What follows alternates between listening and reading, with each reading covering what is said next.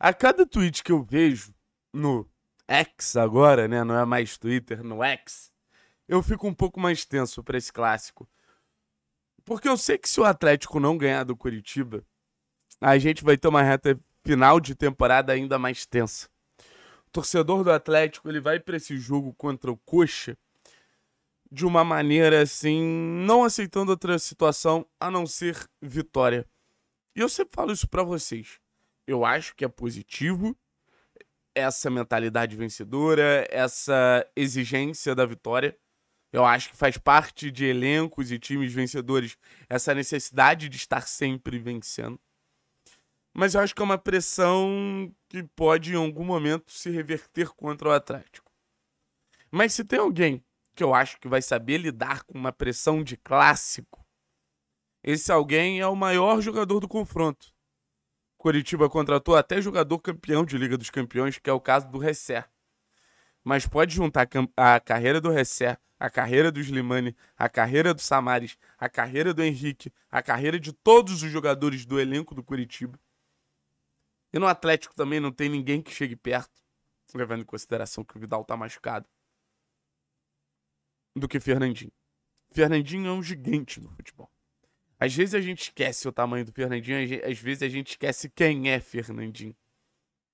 E eu fui ver o retrospecto do Fernandinho em clássicos por todos os clubes que ele jogou. Tanto por Shakhtar, tanto pelo City, quanto pelo Atlético. Shakhtar contra o Dinamo de Kiev, pelo City contra o Manchester United e pelo Coxa e pelo Atlético contra o Coxa, óbvio. E eu acho que aquele ditado clássico não se joga, clássico se vence. Pro Fernandinho ele ainda é mais relevante. E eu acho que se existe uma pressão para esse clássico, é muito bom você ter o Fernandinho também para esse clássico. Porque é um cara que vai saber lidar com essa pressão, vai saber lidar com o jogo. E eu duvido muito que o Fernandinho ele faça dois jogos ruins em sequência. Fernandinho já foi mal contra o Inter. Eu quero um Fernandinho que bote o clássico no bolso. Eu quero um Fernandinho que assuma a responsabilidade. Eu quero um Fernandinho que seja o protagonista que ele é. A gente não sabe se o Bento vai estar em campo, sem Vitor Bueno, sem Vitor Roque. Falando em questão de protagonismo, cai muito nas costas do Fernandinho. Vamos acompanhar esses números aqui, rapaziada. E óbvio, agradecer a KTO, nossa patrocinadora. Muito obrigado por tudo, KTO pela parceria. Apostem utilizando o código 3 pontos para me ajudar. Tem uma série de pedidos aqui, se inscrever no canal para me ajudar a bater 25 mil, deixar um pix para nos ajudar com a conta, deixar o like, conto com a moral de vocês e me seguir no Twitter aqui também, ó, arroba Marquezine Thiago. Tô esperando vocês para debater lá no Twitter. Mas olha esses números bizarros. Pelo Shakhtar contra o Dinamo de Kiev, o Fernandinho ele ganhou mais do que qualquer coisa. 27 jogos, 12 vitórias, 6 empates, 9 derrotas. Lembrando, o Dinamo é um time muito mais tradicional que o Shakhtar. Então, para o Shakhtar ter um momento superior ao Dinamo, é uma mudança de liderança na rivalidade que a gente vai falar mais sobre. City United também. O United historicamente muito mais tradicional que o Manchester City. E o Fernandinho ele faz parte de uma geração que muda a perspectiva do clássico. 17 jogos entre Manchester City e Manchester United que Dom Fernando Luiz Rosa jogou. 9 vitórias, 3 empates e 5 derrotas. Quase o dobro de vitórias em relação ao número de, de derrotas e mais da metade dos clássicos contra o Manchester United. O Fernandinho ganhou. Contra o Coxa, desde 2003, se o site ou gol não me traiu, é a grande superioridade do Fernandinho. Sete jogos, sete atletibas, cinco vitórias e dois empates. Fernandinho nunca perdeu um clássico no futebol brasileiro. É impressionante. É impressionante. Porque assim, óbvio que não dá para botar só na conta do Fernandinho tudo tem ali os companheiros de equipe, o contexto e tudo mais. Mas falando em contexto, é importante a gente bater na tecla. rivais que em algum momento tiveram na, numa frente histórica. E o Fernandinho ele faz parte dessa virada. O Shakhtar se tornou mais relevante do que o Dinamo, pelo menos até o momento de guerra. O City se tornou mais relevante que o Manchester United. E Atlético Curitiba não precisa nem falar. Precisa nem, nem destacar. Pelo City eu acho muito importante. Eu, obviamente, não sei tantos detalhes de, da época do Shakhtar, mas pelo City, Fernandinho ele faz parte de uma geração muito relevante. Fernandinho, Yaya Touré, Agüero, Davi Silva, Vicente Company, Joe Hart, Pablo Zabaleta. É uma geração que consegue transformar o Manchester City num clube gigantesco em condições mundiais. Mas eu quero falar sobre bagagem.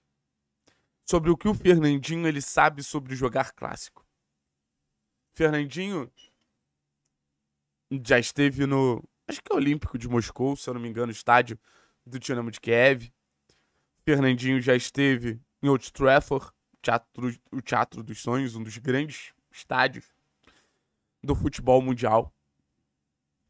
Um Couto Pereira não assusta o Fernandinho. O Fernandinho ele sabe os caminhos de um clássico. O Fernandinho sabe lidar com a bagagem emocional de um clássico.